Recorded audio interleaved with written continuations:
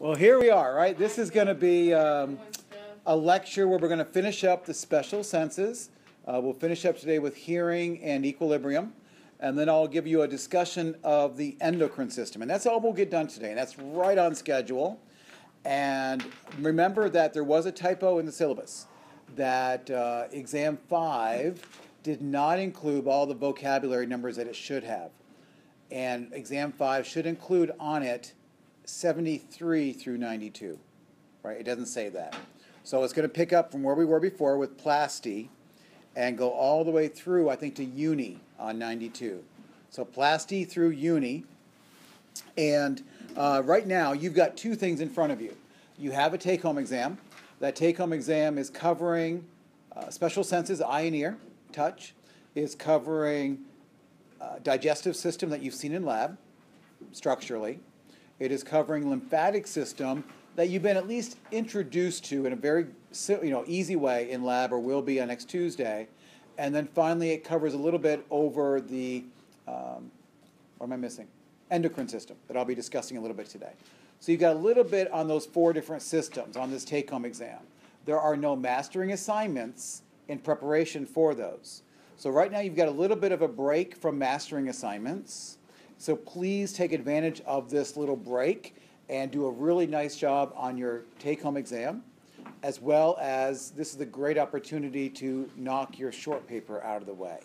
If you can get that done between now and next week, you'll be very happy because I don't want you stressing about your take home exam or stressing out about your short paper while you're trying to finish up getting ready for exam number five on the cardiovascular system. So you'll do yourself a really big favor by getting the short paper out of the way and getting the take home exam out of the way as soon as possible. That take home exam, you could sit down and do it multiple, you know, not multiple times, but you could go down and choose just the questions out of a particular area and divide it up into multiple sittings so you're not trying to do it all at once. There are 100 questions, it's worth 50 points. And some people have already completed it, most have not, a few have started from what I saw yesterday. Um, what else? Any other questions as far as logistics?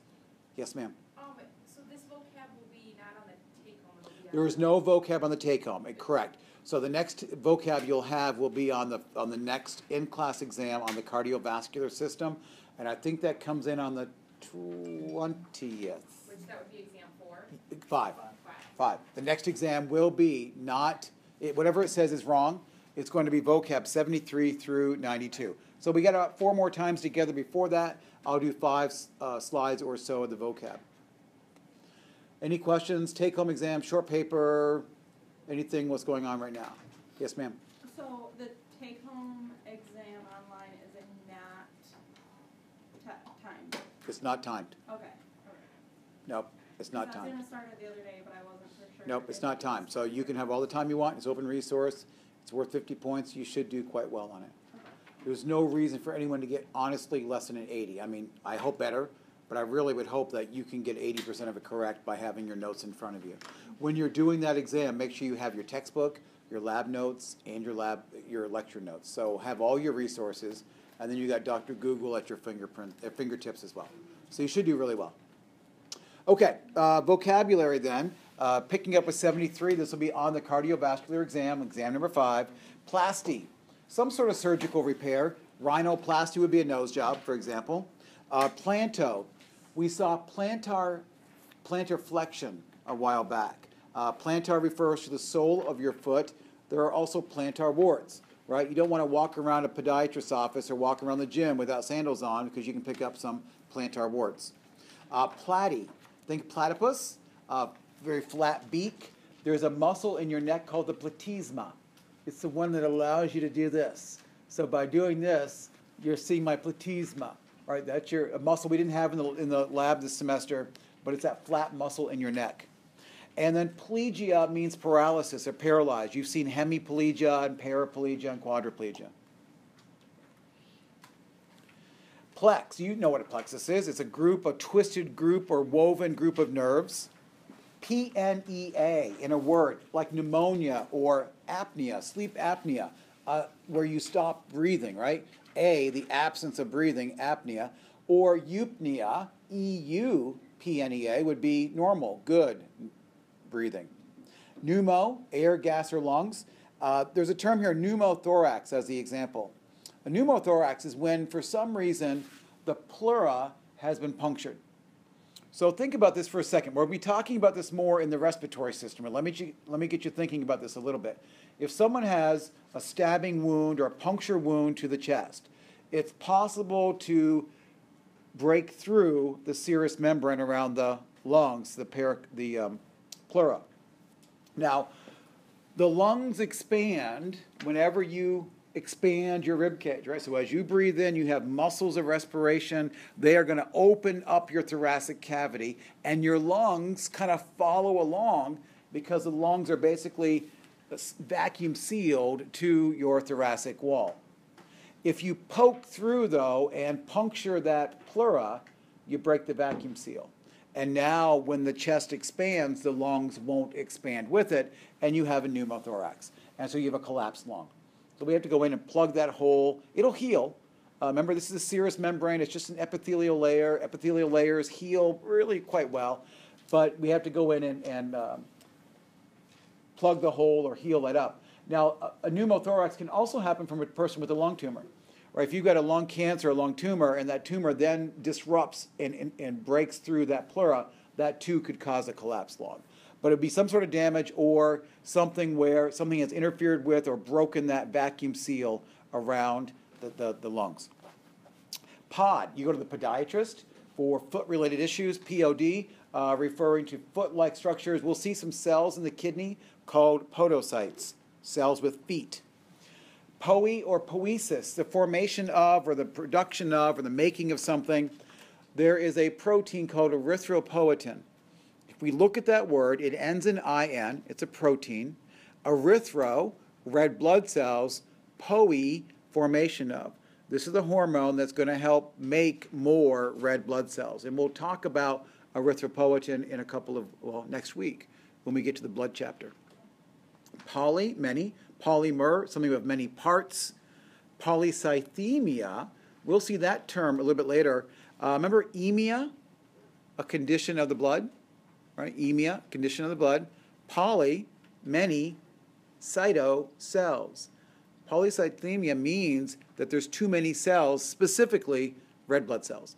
So if your red blood cell count is too high, then you would be said to have polycythemia, which can be a problem uh, if your blood gets too congested, too filled, too thick, if you will, with red blood cells.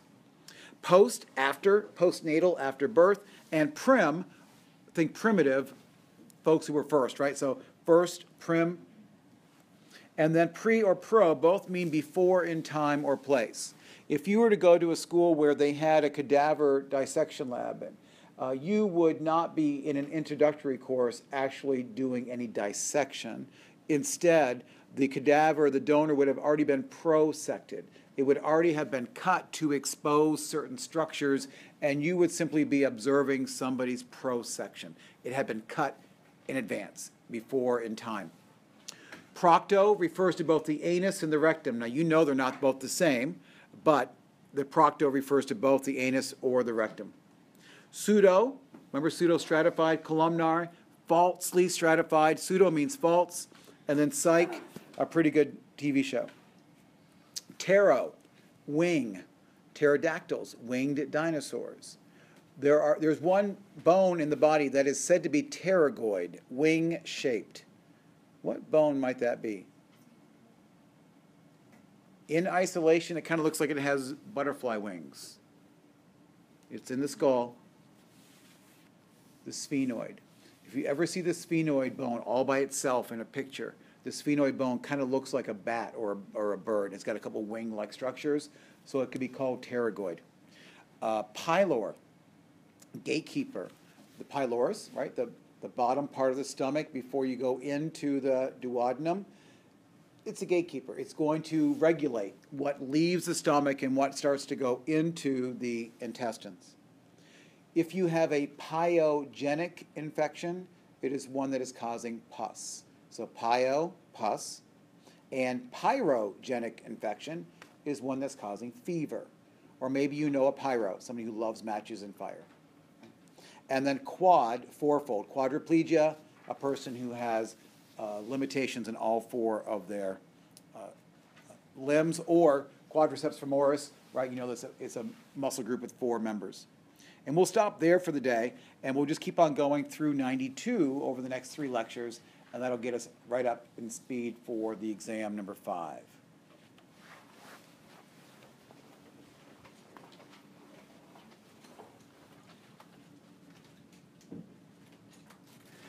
Okay, so let's go to the senses, and is there anything at all? Last time we discussed touch. We talked about different sorts of senses. And we talked about the general versus uh, the special senses, and we also talked about how sense uh, receptors, sorry, are located in different places, and how uh, receptors are responding to different kinds of stimuli. We went all the way through the eye, touch, smell, and taste. Is there anything in that conversation that I can clarify for you? You're really not too stressed out about this material because you know you're going to be quizzed on it with the book open. However, you do want to make sure that you're paying a special attention to, again, the eye and ear structures. Because even though on the take home exam you may be asked about the eye or the ear and you got your book open, remember you will see the eye or the ear and the ear on the lab practical exam. So you don't want to completely flush this material. You want to make sure you're keeping track of your eye and your ear. Make sure you're keeping track of the location of your endocrine organs because that will be on the lab exam. Uh, make sure you're thinking about the lymphatic organs. You'll see that in lab tonight and next Tuesday. It'll be on this exam and it'll be on the lab exam. And um, digestive, right? Again, digestive organs, you'll be asked about that on the take home exam. So, really, what you're doing is just keeping some of these lab objectives fresh. And you're only three weeks away, three and a half weeks away from the lab exam. So, it's not going to be that long. Three weeks from today, we're eating turkey. Four weeks from today, we are finishing up our lab exams. So, in less than a month, we'll be done with lab and everything related with lab. And then five weeks from today, we're already done. Finals week is over with. So, it's going to come really fast. So, hang in there. Don't. Uh, eat your leafy vitamin, uh, your leaf, leafy vegetables, and, and, and stay healthy. The good part about this little section is that we already know the ear. So the structures of the ear here will be, I think, rather easy. You know that the ear can anatomically be divided into three regions the outer or the external ear, the middle ear, and the inner ear. The external ear is anything a Q tip can touch. So we're talking about the auricle, the flappy part of your ear, that can also be called the pinna. Then there's the auditory canal, and along that auditory canal, at the very back of it, we get to the eardrum, what we'll call the tympanic membrane. Along the way, you have some specialized epithelial cells that secrete earwax, that lovely stuff, right? Now, cerumen is a fancy word for that earwax. So you have ceruminous glands that make the cerumen, and I think of earwax being like lava right? It's kind of erupting all the time, slowly moving, and it's sort of like the tears of your ear, right? The tears are there to keep wiping things away from your ear, maintaining your vision, and the cerumen is kind of there like a lava, a slow lava flow, moving outward, keeping things from interfering with or damaging your tympanic membrane. Um, just a slightly different, you know, aren't we so glad, though, that we don't have ceruminous glands on our fingers or anywhere else in our body? Can you imagine if you're oozing earwax anywhere else? Right? Kind of gross. The middle ear, once you get past the tympanic membrane, now you're in the middle ear. This is an air filled chamber normally, and it's where you find the three ossicles, the three bones uh, the malleus, the incus, and the stapes. These three bones, we'll talk about how this all works in a minute are also right next to a tube that goes down from the middle ear to the throat, to the pharynx. And that tube is called the auditory tube, that's the easiest, or the eustachian tube, or you'll see it also called the pharyngeal tympanic tube, tube because it goes from the tympanic membrane down to the pharynx, down to the throat. And then finally, once you get past the middle ear, you enter into the inner ear, and that is where you find both the semicircular canals and the cochlea. And we'll talk about the basics of hearing and of balance today. In the inner ear, you are going to see a series of fluid filled chambers. And in those fluid filled chambers, there are going to be, quote, hair cells. And those hair cells are like the nerve endings. And we'll talk about how you perceive sound and how you maintain your balance because of these hair cells and because of this fluid in a few minutes. So a picture like this, not difficult to label, I would hope. We see the blue, the uh, pink, and the yellow areas representing the outer, the middle, and the inner ear. Again, the external ear goes as far as the tympanic membrane. Okay, everything a Q-tip can touch. Then within this narrower middle ear, there are the three ossicles, the malleus, the incus, and the stapes. M-I-S, right? M-I-S from outside to in. This is also where you find this eustachian tube that usually is closed, um, but it travels up from the pharynx and comes up into the middle ear. This is how bacteria crawl up into your ear to give you a middle ear infection. And you also know that your tympanic membrane is very sensitive. If you ever missed with a Q-tip, you know that if you touch your eardrum, it hurts, right? It's very innervated, lots of nerve endings. So if bacteria get up there in the middle ear and they're creating pressure and fluid buildup and they're pushing on that tympanic membrane from the back, that's going to be very uncomfortable, right? That, that pain. Question? Um, what causes, because when I went to Vegas, like my ears on the plane, it Let's talk about that, okay? So, if you're flying, what do you want to do? Remember, this is normally an air filled chamber. That means you have air outside, atmospheric pressure on the outside, and you have atmospheric pressure, air back here in the middle ear. When you're flying, if you're having that discomfort during takeoff or landing, you would want to typically yawn, open your mouth really, really big and yawn or chew gum or suck on a lozenge or something like that. And when you do that, it props open this tube and hopefully neutralizes the pressure from the atmosphere and on the inside of your ear. Now, if those pressure changes are awfully different, what are you doing? If the pressure difference is significant, you're either pushing in on the tympanic membrane or you're pushing out on the tympanic membrane. Either way, it doesn't feel good. So if you yawn, chew, do something, or just kind of get something to open up that tube and, and, and get that air to flow on both sides. But what if you've got an infection? What if you have a cold? What if you have a sinus infection? You're not going to be able to neutralize that pressure because you've got gunk up there. So if you've got if you don't have a cold, you usually can very easily pop it or feel that pressure difference by yawning or sucking.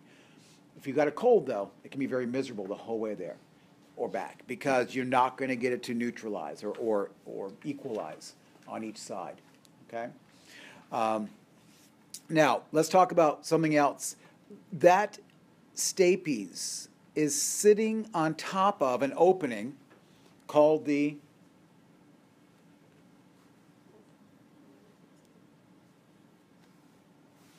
oval window. Right? Does it that stapes looks like a little monopoly piece, doesn't it? Right? And so that stapes, the base of it is oval in shape. To go from the middle ear into the inner ear, you must crawl through this space called the oval window. Once you are in the through the oval window, now you're in the inner ear. As you enter into the inner ear, you enter into an area called the vestibule. Now, the vestibule is a generic word. You'll see a vestibule, an oral vestibule, a nasal vestibule, a vaginal vestibule. It's the opening into. It's a generic anatomical term. So as you go into the vestibule, as you go into the, the inner ear, I always think of it, you're going into a big hotel lobby, right? You're going into the entryway. And off to one side, you have the three semicircular canals. And off to the other side of the lobby, you have the cochlea. You're inside this big chamber, and these two parts of the hotel are connected by the same water system. So we're going to see some fluid that is able to move from the cochlea area over to the semicircular area. We'll, we'll talk about that in a second. but that's all housed within the semicircular canals and in the cochlea. You are now deep within the temporal bone, right? So the cochlea and the semicircular canals are finding their home deep within the temporal bone. And then we see on here the eighth cranial nerve, right? Number eight, the vestibular cochlear nerve, and it carries both information from the semicircular canals for balance and from the cochlea for hearing. So those are the structures. There's one more little opening here I just want to point out, and I'll talk about it at the end, and that is this little round window. So there are two windows in the ear oval window, round window. Just note that they're there, and we'll come back to that at the end. Any questions about just the structures of the ear? Okay. And everything I've said is now here in words, okay? So uh, again, this middle ear, and you asked about this, Karen, the middle ear is usually uh, normally closed, that eustachian tube. And so it's just a little slit like opening down to the nasopharynx. And that's why if you're chewing or yawning, you can open up that slit and neutralize the pressures on both sides. In the when we get to the uh, the respiratory system next week in lab, a full week away, uh, you'll see in some of the pictures a little opening in the nasal passages and down in the throat where this eustachian tube opens up. But it's up in the nasal pharynx. You know where that is. Um, again, in, in the uh, middle ear, we have the malleus, the incus, and the stapes, and those are the little bones called the ossicles. Now, this is a, a blow up of the middle ear. Isn't this cute? So here's your tympanic membrane, and these are the three smallest little bones in your body the malleus, the incus, and the stapes. And they all have their own little ligaments, and they're attached to the temporal bone, and they're attached to each other. I mean, these are tiny you may not have spent any time looking at them in the lab, but we have two sets of ossicles upstairs. One is in a little like pill case, three little bones. The other is embedded in a, a plexiglass uh, display case. But they were sitting around, and we'll probably pull them out again. But tiny, tiny, tiny little bones. Now, there's a couple of muscles attached to these bones. These are both uh, kind of fun to know. The tensor tim- tympani or timpani. Um, What's a timpani in orchestra? Like the big kettle drum, right? So that's kind of what the this big, you know, eardrum, right? The tympanic membrane, timpani, the big kettle drum kind of structure. There's another muscle up here that I want you to know, though, that's attached to the stapes called the stapedius. Cute little muscle. Now, the stapedius is, see how it's attached to the stapes? This muscle will contract as you are exposed to louder sounds. So, as you are walking toward a loud noise, this little stapedius contracts. It's a reflexive type thing. You don't have control over it, of course. What's happening as that muscle contracts? What is it doing for you? It's pulling that stapes back away from the oval window. If I pull the stapes back from the oval window, that means not as much energy and loud sounds can get into my cochlea where it could potentially cause nerve damage. So a really loud sound, now, this is only if you're approaching a loud sound. So if you're walking toward a concert, walking into church, whatever, where it's kind of loud and you know, can be kind of loud, that's where this stapedius can pull back and save your hearing a little bit this is not going to protect you against a, a, a, gunshot sound, right? An instant sound where there isn't time for that muscle to pull back. So this is only good for your walking toward a louder sound. Okay, it just can't happen fast enough for a loud, fast sound. But I want you to know about that little uh, stapedius muscle. Any questions about just practicality of that? kind of a neat thing. And here's a couple more notes about the middle ear. Again, you're in an air-filled chamber, right? This this cavity is sometimes referred to as the tympanic cavity. It's an air-filled chamber of the middle ear. Now we finally get into the inner ear, and like I mentioned before, you are bordered by, uh, as you go behind the stapes and you look through this oval window, you're now entering into the vestibule, into the opening of the inner ear. And off to one side, you'll see the semicircular canals. To the other side, you'll see the cochlea.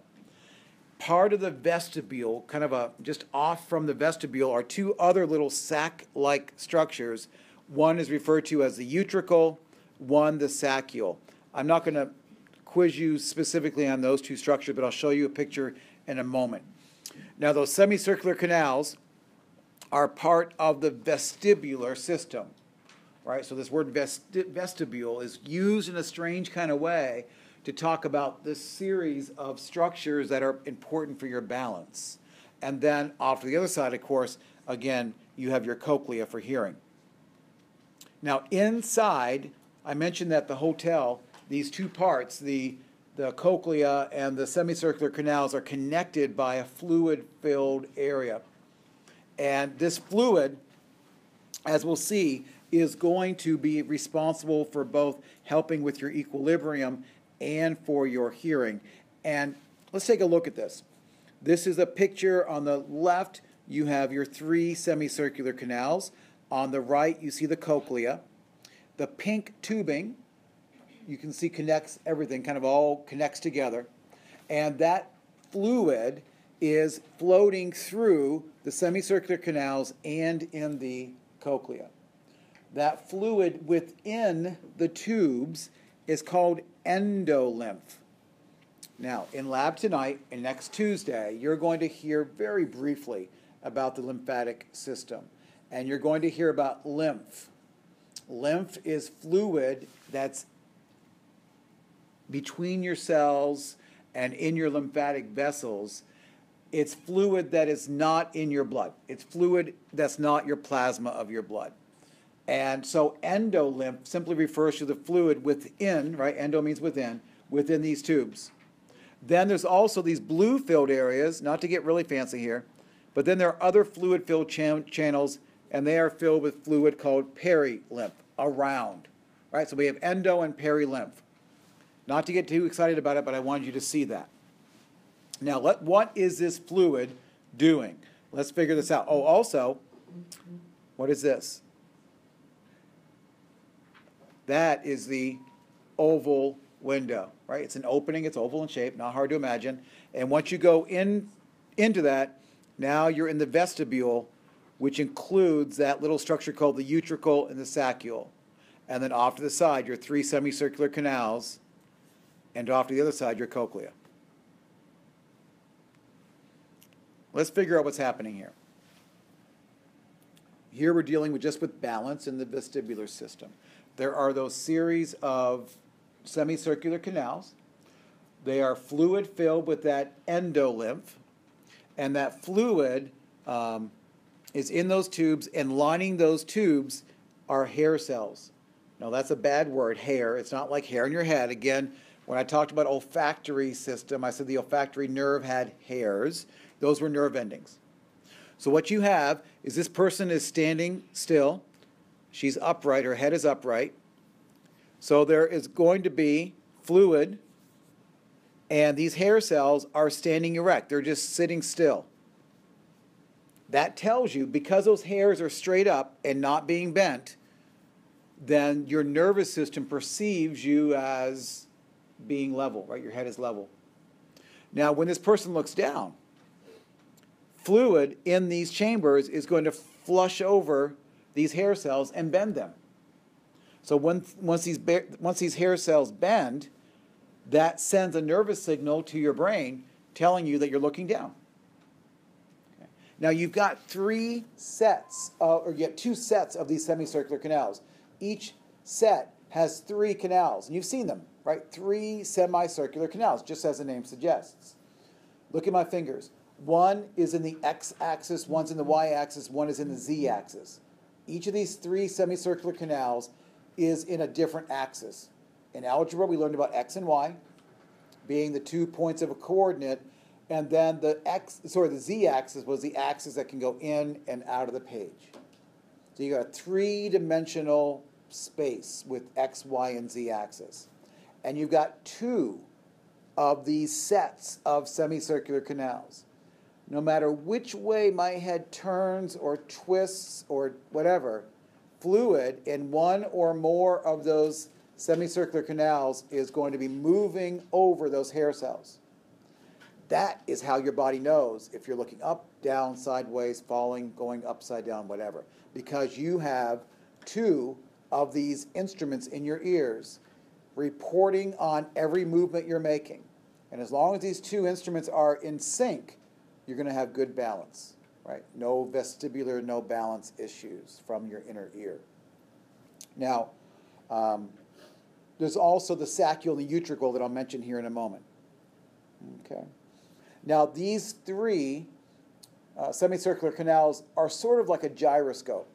Now, a gyroscope is that little kind of funky little ball instrument that you'll see in a, in a plane, or maybe some people have them in a car. It's that kind of rolling compass looking ball thing. And, and what that's going to tell a pilot is if in, in inclement weather, they can tell it's like a level, but in three dimensions, if they're going up or down, left or right. So if they have that little gyroscope perfectly centered, it means that the plane is level and they're not veering up or down, left or right. So basically, that's what these two sets of semicircular canals are for you. You have two gyroscopes in your head, and they are constantly sending signals to your brain at all moments. We would say that these signals are tonic, right? They never phase out. They are tonic, they never stop sending, sending signals to your brain, and you are constantly aware of your position. Okay, so you can close your eyes and you know if you're looking up or down, side to side, because of that proprioception, but also because of these semicircular canals and the bending hairs. Okay. Same thing is true, and, and I, I've just said this. You have this endolymph, right? This fluid. It's it's going through these semicircular canals. There's hair cells along the way, and as the hair, uh, sorry, as the fluid washes against these hair cells, you're going to perceive that motion. The semicircular canals are reporting to your brain on angular movement, right? Moving angularly. The utricle and the saccule also have fluid, and they also have hair cells, and they're reporting more on up and down and forward motion. So when you're accelerating in a car, you know you're accelerating. Not only is your butt being pushed back into the seat, but your inner ear is also telling you through the utricle that you are moving forward, okay, and continuing to accelerate. Cool, cool stuff. Now, the semicircular canals are also working with your eyes. Okay, they're helping to coordinate with your eyes. They're also helping to coordinate with your cerebellum. Remember, we talked about the cerebellum as being the part of the brain stem that is helping to coordinate your muscle movement. And your body is going to quickly react to challenges of your balance.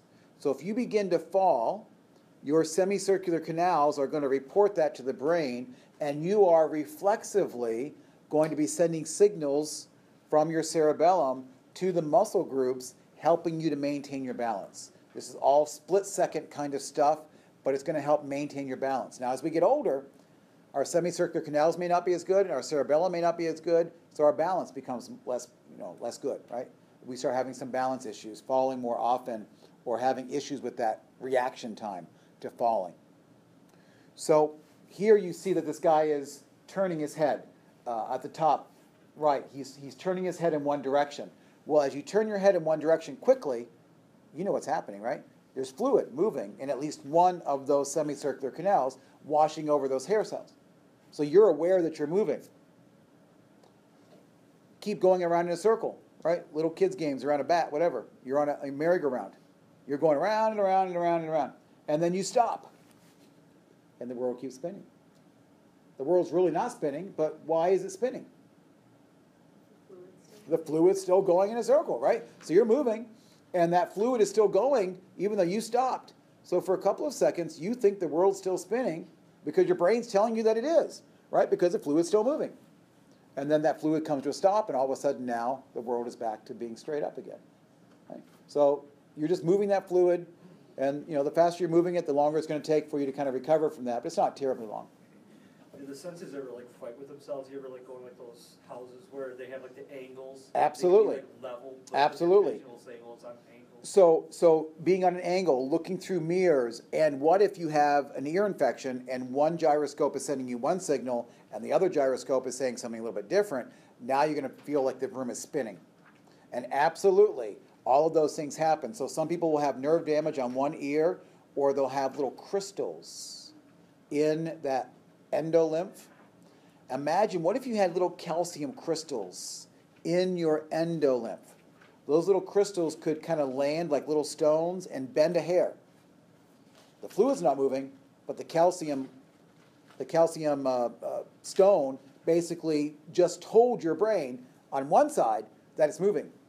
And that can cause all sorts of balance disorders. And there's a whole family of diseases, uh, vestibular disorders, Meniere's disease, where people suddenly lose their balance um, because there's these little crystals building up in their ear. And there's a few things that can be done, but not too many things that can be done for that.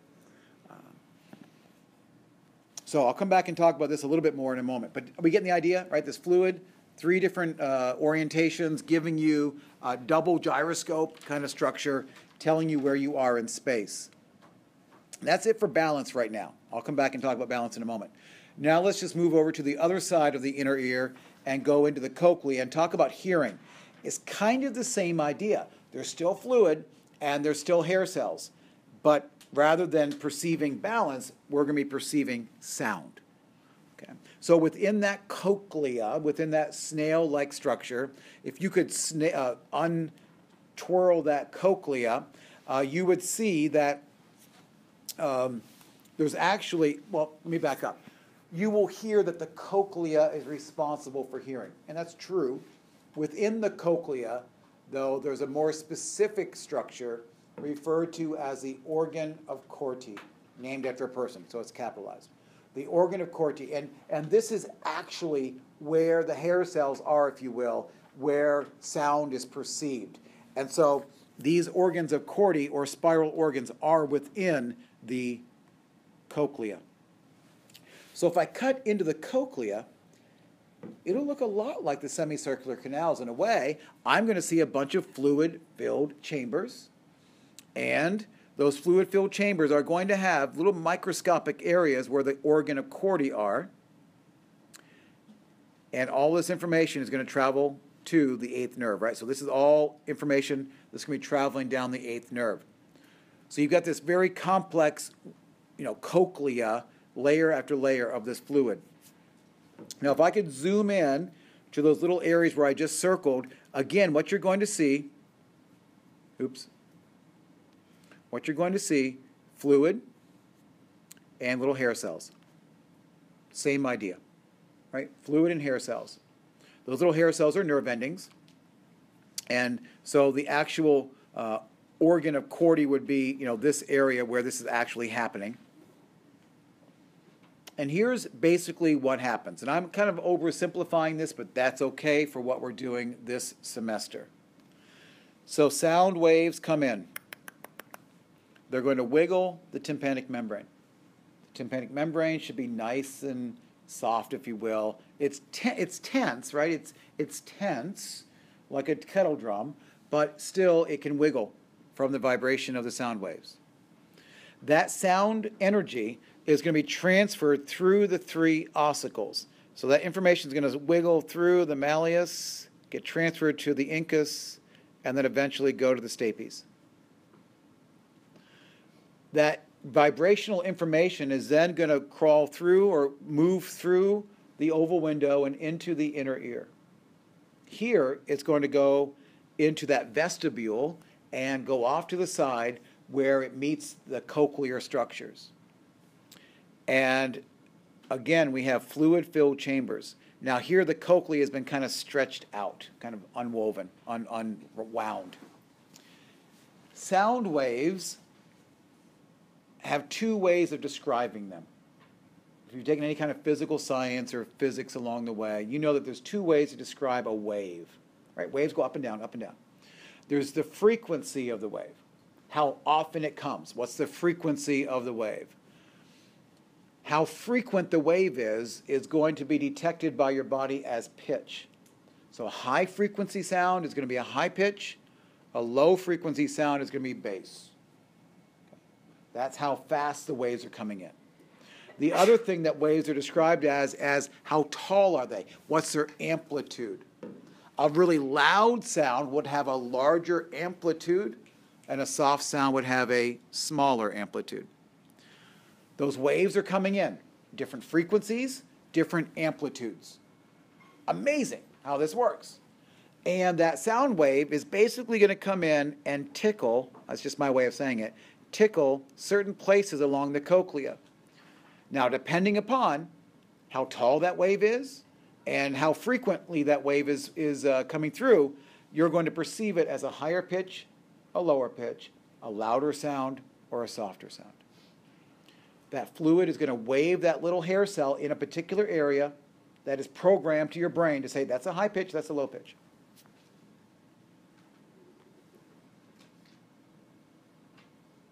Okay, seem to be okay. And then it's going to tickle that, that little hair cell. Same kind of idea. It's going to bend the hair cell, disrupt it. The brain's going to perceive it as sound. But now, this is what's cool.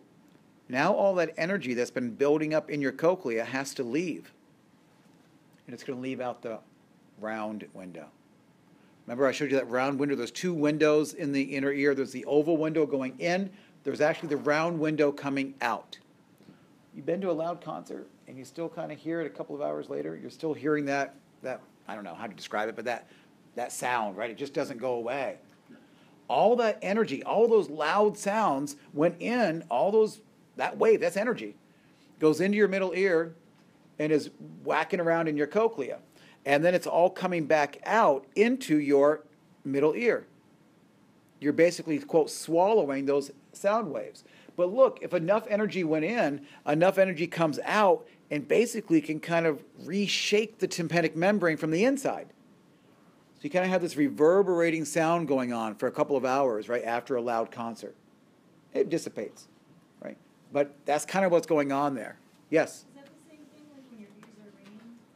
It can be, although tinnitus or tinnitus, you'll hear it pronounced both ways, uh, is a different issue.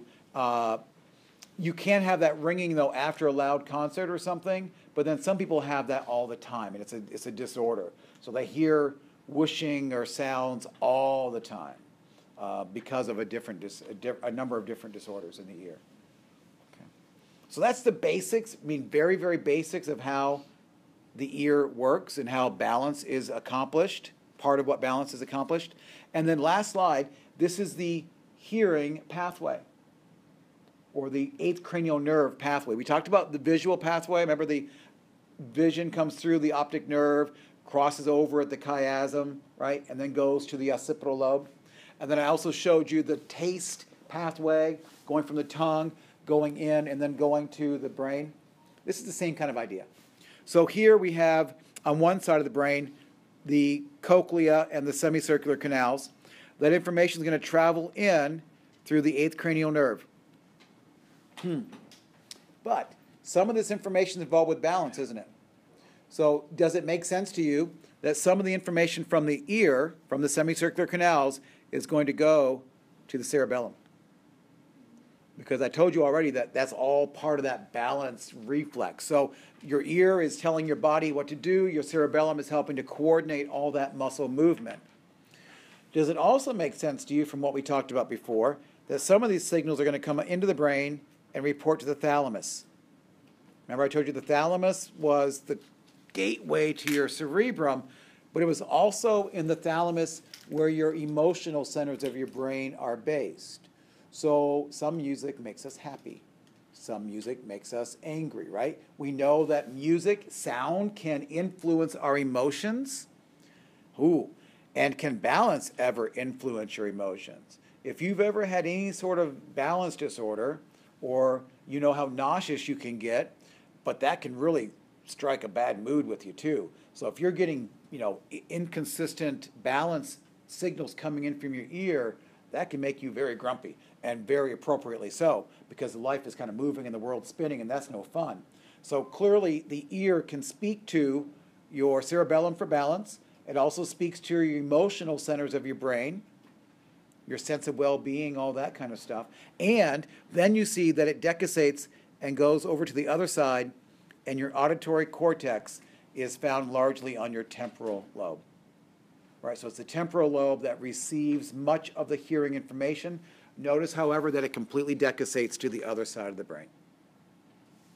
And that is what I wanted to share with you as far as hearing and balance. Any discussion or questions about that?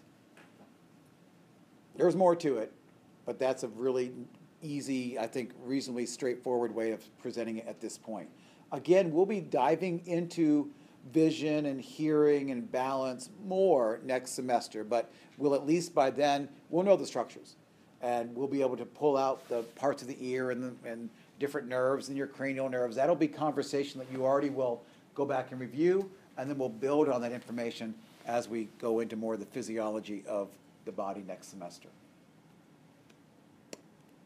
This is always where I pause for a moment too and go back and I tell you why balance is why I started off with this whole presentation presentation saying that you know balance is the sixth sense, and um, the reason is is that about it's been 18 years now. 18 years ago, I went to the dentist and got an infection from a crown that was being put on.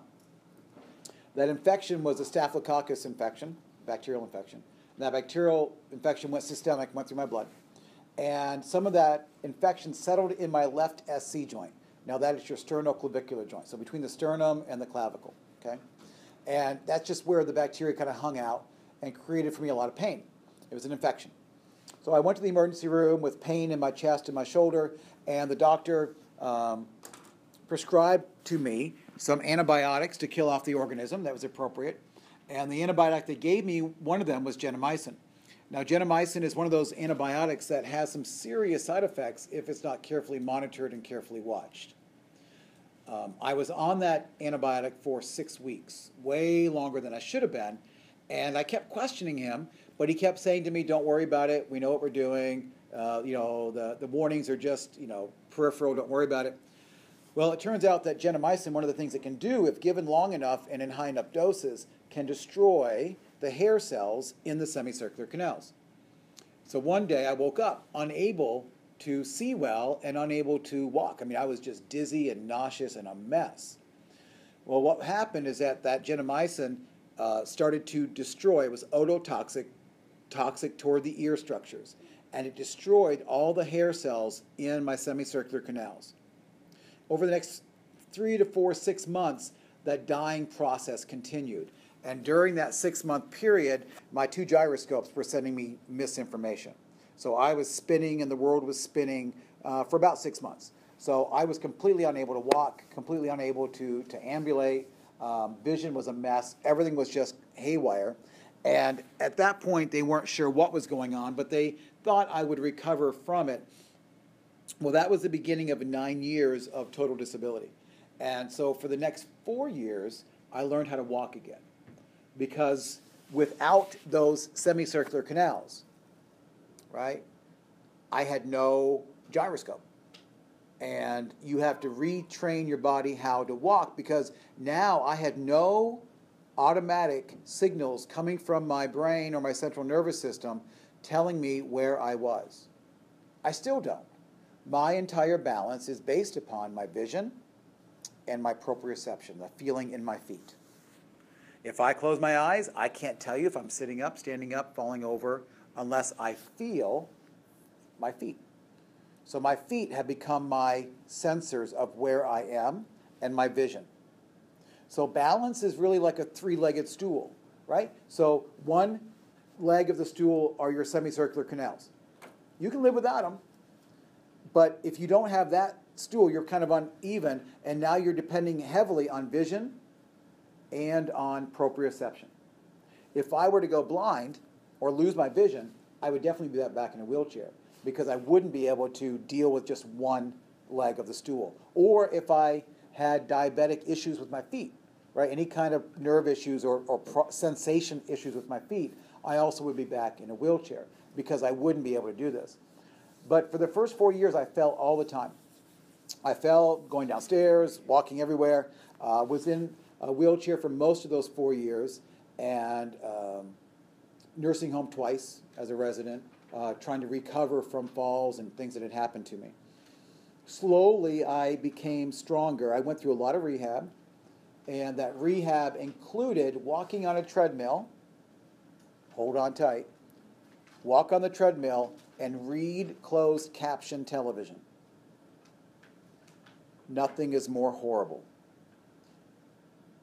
because it would make me terribly nauseous. And my instructions were to do that four to six times a day until you throw up. So walk and read and throw up. Get terribly nauseous. Walk and read and throw up. And keep doing it and keep doing it and keep doing it.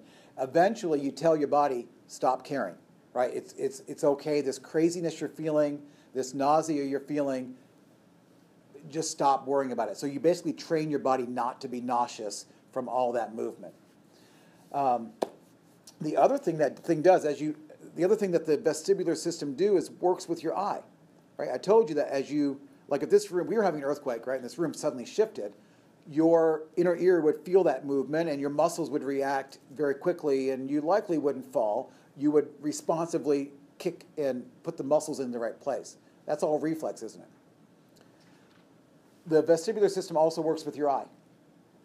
So when you move, when you move your head, that fluid is moving. Instantly, your brain is aware of that movement and it actually moves your eye in the opposite direction so that you can maintain your gaze. So if you're looking at a, a, clock or you're looking up at the screen, and imagine this for a moment, you're just looking at the guy up there turning his head in the upper right hand corner. And you're going to turn your head quickly, left or right, but you're going to keep your eyes gazed on that image. What happens?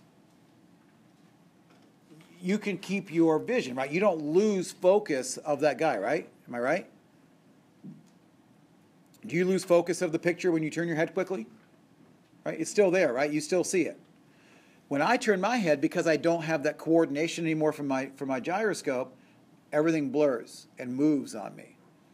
So every time I move my head, my vision blurs. When I walk, I can't see faces, I can't read signs, I can't read anything. And so, so you'll see me, whenever I'm walking in the classroom, you'll see me pace back and forth it's not that I'm nervous, but as long as I'm walking, I'm getting feedback from my feet. I know that I'm upright. If I stop, I can start teetering. And usually when I stop, I'm next to a table or very close to a wall, but I have to constantly make that decision. It's a very conscious choice for me to stay upright. And I have to be, everywhere I go, I have to be kind of monitoring where I am and where am I going to go if I need to grab onto something. Same is true when I'm, when I'm driving. When I'm driving, I can't see where I'm going. Now, with or without glasses, it doesn't matter. Because if the road is bumpy, and we live in Michigan, so all the roads are bumpy, right? So as the car is bumping, my vision is going up and down. And if the car is shimmying left to right, my vision is going left to right. So basically, my world is doing this kind of thing all the time. At nighttime, it's like watching fireworks. A bunch of cars. I mean, I just see taillights, and they're kind of just like this all over the place. But uh, after many years of forcing my brain to just ignore all the noise, I just drive down the middle of it all. And I assume that the kid on the bicycle is smart enough to be over on the side, although I think he's in the middle of the road. A little bit. If my family knew what I saw when I drove, they wouldn't ride with me, right? But everything's moving. So the fire hydrant is in the middle of the road, then it's over here, then it's in the middle of the road, then it's over here. But I've learned to go down the middle of it, and it's okay. And I can see cars in front of me. I can see big signs, but I can't read any signs when I'm driving. I certainly can't read my phone or, or, or anything like that. And I have to really concentrate. The worst thing for me is, is uh, construction cones, right? Little things going by me nighttime lights. It's really quite um, spectacular, I suppose, if you like fireworks. But after a long time, I've really kind of got used to it, and I don't know what anything else is anymore. It's been 18 years now. Um, but it took me about four years to learn how to read again, not to learn how to read, but to hold my head still enough to read. Because any movement at all, the words would jump. So I had to develop very, very strong neck muscles so that my head is very, very still. And thankfully, I don't get a lot of migraines from it, but I, I very, very strong, steady neck. The worst thing in the world for me is when I'm in the bleachers at an athletic event, and there's a kid on the other end bouncing up and down. That seems so innocent, but that little bit of motion, I can't see anymore. I can't focus anymore. Everything's moving. And so that just drives me nuts. Sit. You know, I, I, I, feel like the little old lady, right? Sit down, right? But he's way down there. But that little bit of movement, I'm moving, and so I can't see clearly. Or we're at a concert and everyone's clapping. Well, when I clap, I can't see anymore. So I don't clap. I look like the grumpy old man, right? I'm just sitting there. Um, but I don't stand up, I don't clap, I don't do those things because the moment I do, I have to choose. Do I want to see or do I want to show like I appreciate what's going on? So it's just been a, a many, many years of accommodating and getting used to it. Um, but I've been, I've been back to work now for about nine years, I guess. Nine years I didn't work, and nine years I've been back to work. Uh, so I was told I would never walk again, never drive again, never work again, never be functional again, uh, over and over and over. And uh, I beat the odds for sure. So would that be like a medical malpractice? It definitely was a medical malpractice type situation. Uh, in the end, the doctor was found to be harmless. Um, the hospital took some responsibility and paid my medical bills uh, to the tune of about eight hundred thousand dollars, and this is eighteen years ago. So now it'd be millions of dollars in, in medical bills. So some of that got taken care of, but not not enough of it. Yeah, yeah, yeah. crazy stuff. Um, crazy, crazy stuff. Any questions about balance? I mean, it's really kind of interesting. It's, it's disease is really interesting when you when it's somebody else, uh, and I've adjusted to it pretty well. Um, I would never pass a sobriety test on the side of the road at night. If I was ever pulled over at night and told to walk the, the line, they'd be pulling me in because I, I no way I could be steady. Um, nighttime, I'm really challenged, and I don't walk on plush carpet because anything that my feet at the beach. um, you know, that soft footing on the beach, I, you, I might as well crawl out to the beach. I hate going to the beach. I love the beach, but I hate going because that soft footing. I've now got the water moving in the horizon. I've got soft footing on my feet. I'm a mess. I'm an absolute basket case at the beach. Um, in fact, for years, I couldn't even go to the pool because the rippling of the water would make me nauseous. I'd throw up. So I've gotten past that, thankfully. I can go to the beach now and not throw up. But it's, it's really a challenge for me. And if it's nighttime and, and um, there's lights or construction cones, I get really angry. I get really irritable. And I understand why, right? You understand why. Because my semicircular canals do speak to my thalamus, which tells me that I'm pissed off. And so I understand that. And my family, unfortunately, bears the brunt of that sometimes because I'll be driving and I'll start, I don't, I just kind of get scattered a little bit and I'm starting to lose it and I kind of get, I, I get angry. It makes sense.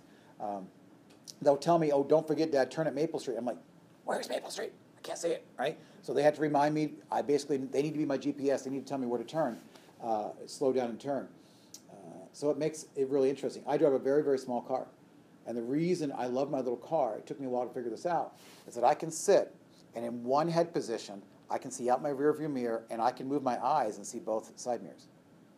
Right? And so I don't have to move a lot of head. I, I don't have to do that because if I move my head, things start blurring.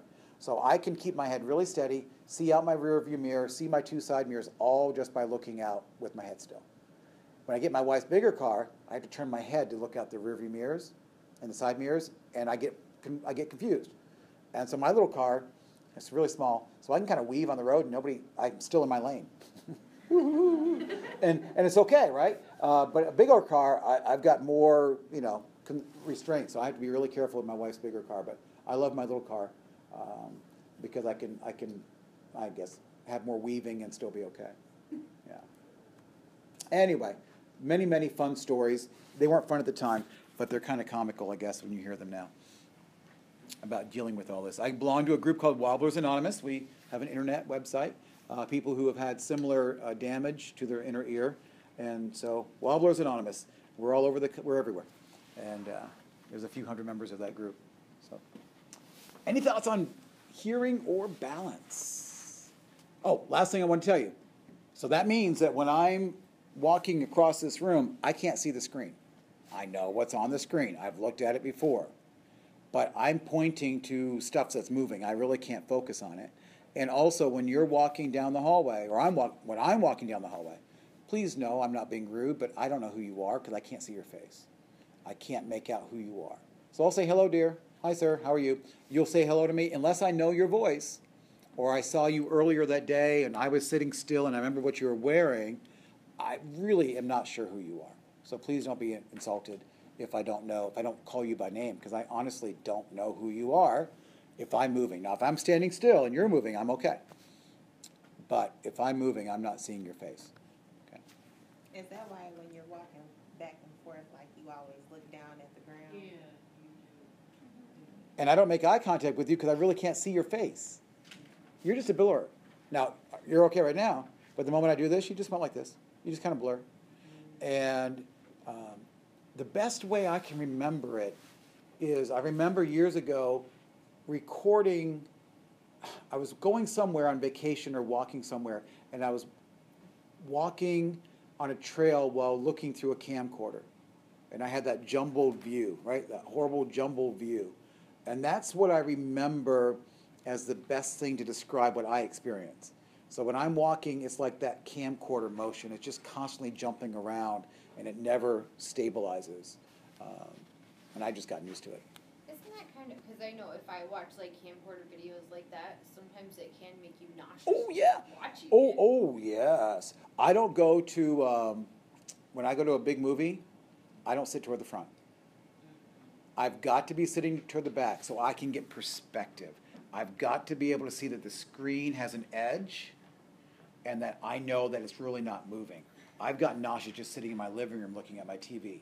I've gotten past that for the most part, but I went to watch, uh, what were the blue, the blue people? Avatar, 3D. I thought, oh, let's go, kids, let's try. And I hadn't tried it in a while. Oh no. Two minutes in, I'm like, and I just closed my eyes the whole time. I could not, I could not be part of that three dimensional movie and all that moving in a small three in a small IMAX theater. There was no way. So I, I just sat there and closed my eyes. And Like the Oculus Rift thing, you probably wouldn't do too well with either. Mm-mm. now, interestingly, elevators. I don't know that I'm moving up and down.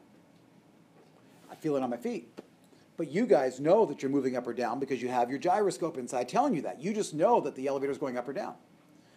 When I'm spinning in a carnival ride, I don't know that I'm spinning the way that you do. I feel the pressure on my butt, right? I, feel, I know that I'm being pushed back against something, but I can't tell you which way I'm going.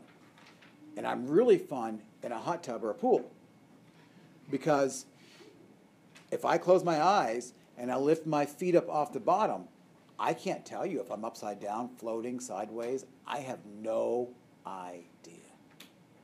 Right? Because I've, I've got no gyroscope telling me if I'm up or down.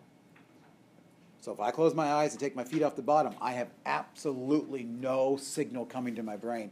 And I can't tell you if I'm flying upside down, sideways, So it's like zero gravity. zero gravity. And, and, and I actually went through some NASA experiments at a group at the University of Oregon doing research for NASA. And they put me in these weightlessness scenarios because I don't have the middle, the inner ear hair cells. I was a great test subject for them. So I've had some fun experiences like that, although it wasn't really fun.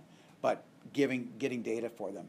Um, but uh, yeah, weightlessness kind of thing. It, it's a, even if I just stand here and stand up and close my eyes, I'll start falling, and I won't know it until my feet tell me. Right? I have to consciously think about it. Nothing is automatic. Okay. Well, isn't that fun? Okay. We knew he was weird, but we didn't know why. Okay. Okay. So that's what's going on. You see me weave a little bit. It's just it's just me weaving. I'll get to there somehow. Uh, that is the end of the special senses, and I want to spend the last 20 minutes or so uh, talking to you about the endocrine system. Now, I'm not by any means going to get through all this material. I just want to introduce this to you. You already know some of this. And the endocrine system, what you know is that this is a series of hormone producing glands, right? And you know where they are. You know about the pancreas, and you know about the thyroid gland, and you know that there's uh, the hypothalamus and the pineal gland in the brain, and you know that the testes and the ovaries secrete hormones. So we know a little bit about this, and you have already identified structurally where these glands are in the body. So let me just remind you that the endocrine system and why it comes here, right? We just finished with the ear, the nervous system. oh my, we've been here for a long time. Right? From the day one where I said neuron, through the spinal cord, the brain, the autonomic nervous system, all of exam four, and now the special senses, that's really all nervous system. We've been on the nervous system now for four or five chapters. So now we get to the endocrine chapter, and we realize that the endocrine system works very, very closely with the nervous system, and both of them are maintaining your homeostasis, your well being.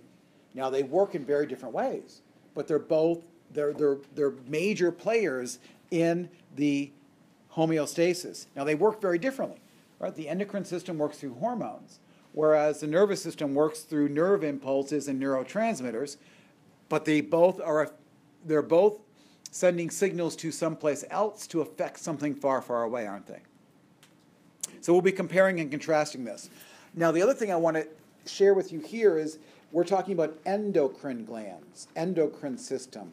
Remember, endo means within, and crine means to secrete. So endocrine to secrete within the body hormones versus exocrine. Exocrine glands we talked about back with the epithelial uh, cells and the integumentary system, and we talked about merocrine and per, uh, uh, merocrine and uh, apocrine and holocrine. Okay, those were exocrine glands because what were they doing? Secreting crine exit out of the body. So exocrine glands are the glands that secrete something out of the body, like your sweat glands, or your tear glands, or your salivary glands. Yeah, they're, they're secreting it into your oral cavity, but don't forget that anatomically, everything from mouth to anus really is outside of your body. So everything traveling through your gut tube is really, quote, outside. So the pancreas secretes digestive juices into the duodenum. The stomach secretes acid and enzymes into the stomach. All of that is considered exocrine. Okay, it can exit the body. Versus endocrine. Now, the exocrine glands all secrete their products through a duct, through a series of tubes, versus the endocrine glands produce their products and then release them directly into the bloodstream. There is no duct, there is no tubing, there's no, there's no plumbing okay, involved here. Okay, so that's an important difference. This table, I know it's small, but let me just tell you about it because I think it'll make this really, really clear. One column is how the nervous system works. The other column is how the endocrine system works. And we, I think we know this, but let me just clarify it. So going down on the uh, right side, here's the nervous system, and here's the endocrine system. And all it says is, how do they work? Well, the nervous system works through neurotransmitters that are released in response to nerve impulses, whereas the endocrine system works through releasing hormones into the bloodstream. Okay? What, where do they target? Well, you know that neurons carry information that go to muscle or to glands, right? Whereas uh, hormones are going to go to any cell in the body that has a receptor for that hormone. Remember, hormones are going through your blood every cell, every tissue in your body is seeing every hormone going through your body, but only the cells that have a receptor for that hormone will, quote, see that hormone. And I'll give you a good example of that at the end. Response time. Well, you know how fast the nervous system works, right? We can move our finger up and down really, really fast. Those nerve signals are going, they're being stopped, go, stop, go, stop. Hormones are going to be relatively slower right? Once they're in the bloodstream, they're going to have an effect that can last for minutes to even hours. Again, what do the nerves do? Cause either a muscle to contract or a gland to secrete. We've been through all this. What do hormones do? They cause some metabolic change in a cell. They're going to cause something to go up or maybe something to go down. Insulin, glucagon. We talked about um, uh, parathyroid hormone and calcitonin long ago in the skeletal system as two hormones that work in opposite ways. So these hormones have all sorts of effects in the body. Range of effects. Well, again, nervous system is very specific. You have a neuron, you have a nerve going directly to a muscle or directly to a gland. It's a one way pathway. Whereas the hormones, because they're traveling throughout the body, are more systemic. They can have an effect everywhere and have a very widespread effect. How long does it last? Again, milliseconds for nerves, right? It's instantaneous. Move the muscle, stop. Move the muscle, stop. Hormones, once floating around the blood, that signal can take a lot longer to, uh, to occur and also longer to recover. So once that hormone's in the bloodstream, it's going to be there for a while, and you may feel the effects of that for a while. And the nervous system, right? Quick, quick on, quick off. So that table, I think, does a nice job, a reasonable job of walking you through this. Getting a little message here. Let me just fix this.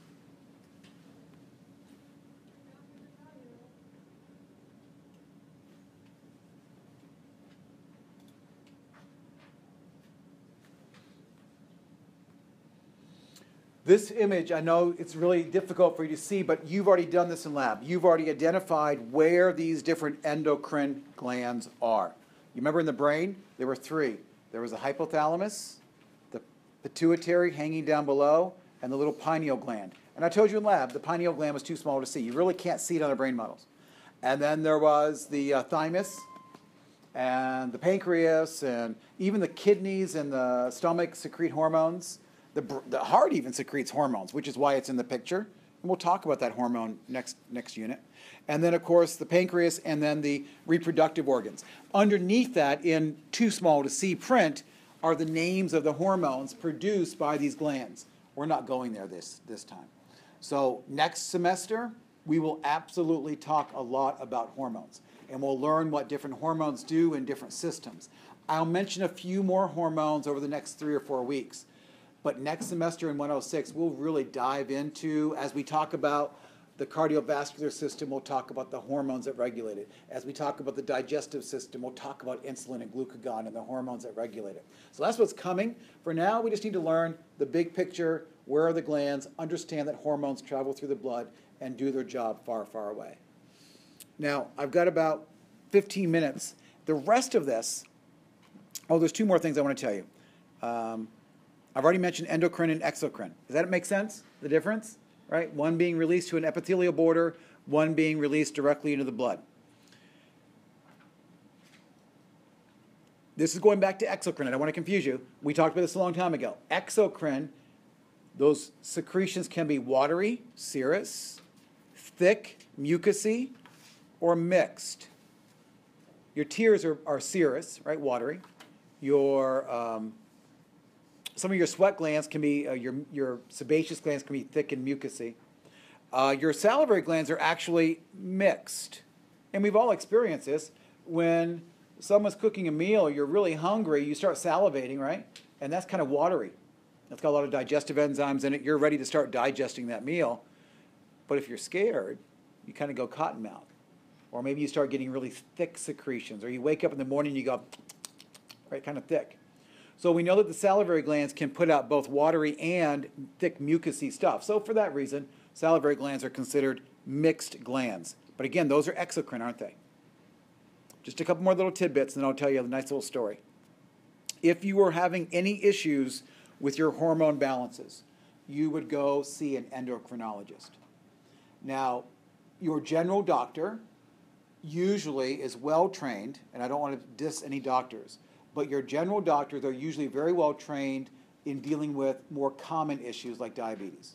So a, regular general doctor or physician can deal with insulin and, and diabetes, typically. Or uh, most OBGYNs spend a lot of time learning about the female hormone cycles and can regulate issues and problems there.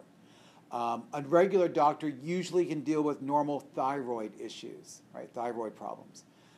But outside of that, some of the other hormonal issues are really very specialized and really, I think, personally, need the attention of a specialist, a person who's an endocrinologist, who can really, who spends their entire day thinking about this and treating these disorders. Because these hormones have vast effects. A little bit off in one hormone can have effects not in one system, but in multiple systems. And you don't want to mess that with a doctor who's who spends all day doing all sorts of things, you want to go to the source, the, the specialist. So, you know, if you have any of those more unusual issues with hormones, you definitely don't want to play around. Again, that's just my opinion. Uh, or ask your regular doctor for a referral.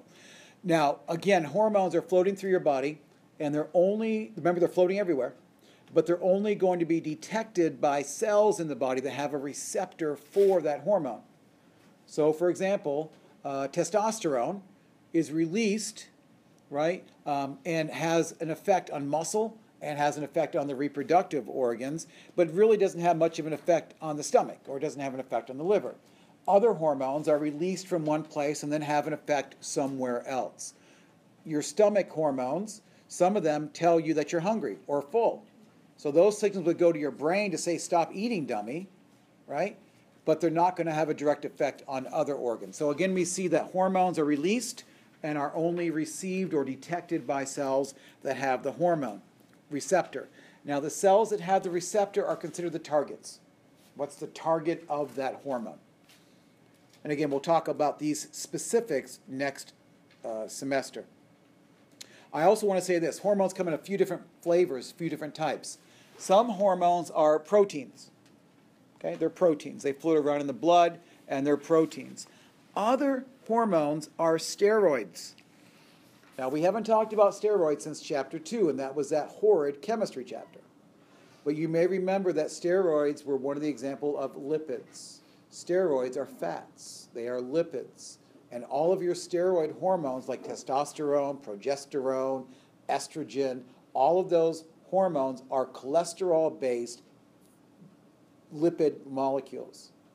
And this is why, ladies, and everyone needs to know this, you read these commercials right now about men with low T levels, low testosterone. And one of the ways that guys up their testosterone levels is put on this androgel in the armpit. And then the warning says if you're pregnant or think you are pregnant, you should not hang around a guy's armpit who just put androgel there. And small kids should not you know, run around and hug daddy too much under the armpit if we just put androgel on. The reason is it's a steroid. Steroids are hydrophobic. Hydrophobic means that they can be taken up directly through the skin. That's why there can be testosterone patches, estrogen patches. Those hormones, those molecules can be absorbed directly through the skin. So you wouldn't want, right, to be hanging around that too much because um, those hormones can directly go into your body and affect anyone else who touches them. And if you swim in it, you could have some issues, right? Or you were constantly being exposed to those hormones. Now, this is where I take a little aside and I, and I ask you have you ever heard of a condition called AIS? Androgen insensitivity syndrome. And I'll spend the last 10 minutes just kind of as a story, okay? So you can put your pencils down, just kind of listen. And I suspect now I'll get a couple short papers on this topic because it's really, really kind of cool.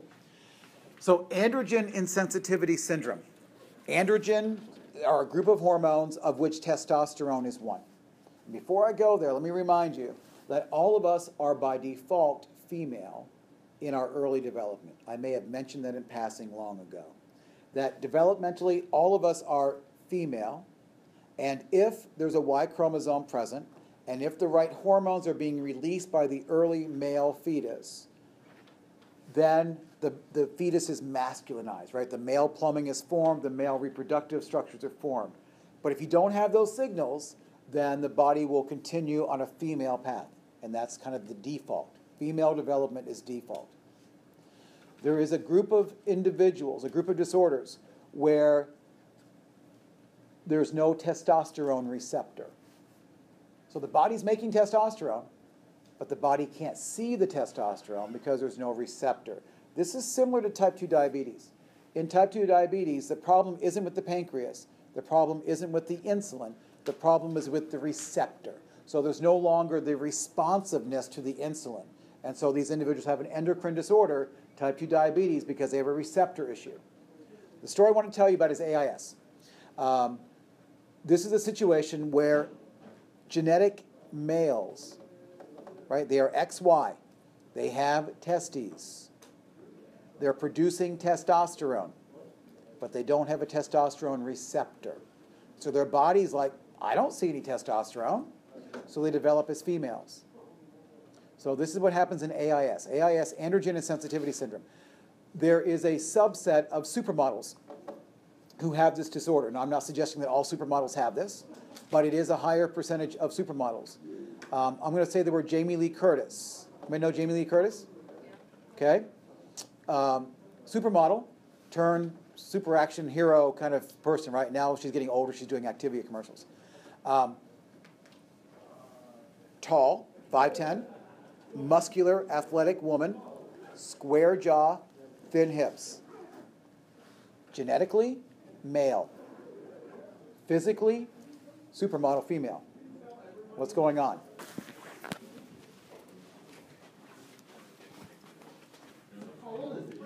So in early development, right, male, testes, producing testosterone, but the body doesn't have the receptors for the testosterone. So it's as if the testosterone is not being made. So we default produce female structures, breasts, vagina, but no internal structures, no, no internal plumbing, no uterus, no ovaries. They're still testes. They're up in the abdominal cavity. There's no place for them to go. There's no scrotum. So they don't go down and, and go into the scrotum as they normally would in a male. Physically, beautiful female. Tall, athletic, clearly female, all regards. Menses comes along. Time for menstruation. No menstruation. There's no uterus. There's nothing to menstruate. Well, these are really athletic women. Typically, they're tall, athletic women. So if you don't have enough body fat on your body, right? Anorexics don't menstruate because they don't have enough body fat. So very athletic women sometimes don't menstruate. They have spotty or very delayed menses, or at least no one's really too worried about it. Oh, they're just really athletic. They don't have much body fat. It'll happen. And it doesn't happen. And sometimes they go all the way to be married before they realize that anatomically they have a blind pouch. There's no, there's a vagina that goes nowhere. So there's no internal structures there. Um, externally, female. Everything about them is female. Okay, now, Jamie Lee Curtis, if you go online, you're going to see it's going to say urban myth, Jamie Lee Curtis, hermaphrodite. Now, what's a hermaphrodite? Hermaphrodite's an earthworm. It has both functioning male and female parts. There are no human hermaphrodites. So Jamie Lee Curtis has never come out and said that she has this disorder, although there are rumors that it has been diagnosed and never disclosed.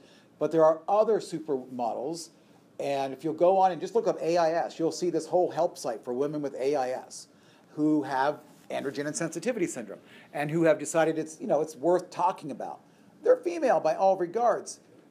I suspect, and again, this is just off the record. Brit, was it Brittany Joyner? The the tall African American uh, basketball player at Baylor a couple years ago spoke like this. About six foot five, muscular, phenomenal athlete. I suspect AIS. Um, the Jamaican runner a few years ago in the Olympics who was just blowing away everybody and was like, looked like some massive steroid thing.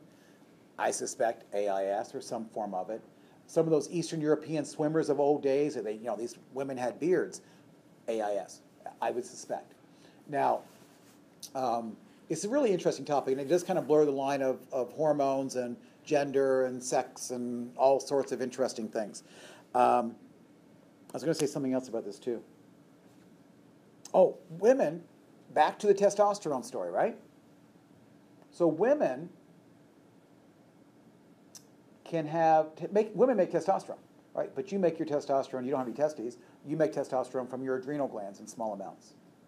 Women can have adrenal tumor, and their adrenal glands during pregnancy can be overproducing the testosterone, and it's possible to kind of go the other way around. And these are really extreme cases, but a little girl who is being bathed in testosterone during development could become masculinized.